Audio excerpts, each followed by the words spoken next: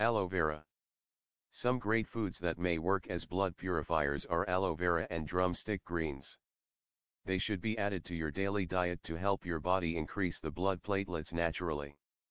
I fact, aloe vera is in brief one of the top foods to increase blood platelets so that you should not look down, but try to add it to your diet for good.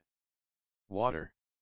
Keep in mind that water is a vital part of the body and the blood cells are made up of proteins and water, so it is very important for drinking water throughout the day.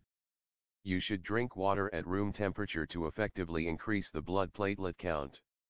Also, you should avoid cold water because it can negatively affect your digestive tract.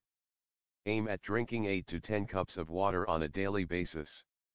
This way will help your body produce much more blood cells and simultaneously boost up the blood platelet count. Subscribe us to know more health tips and home remedies.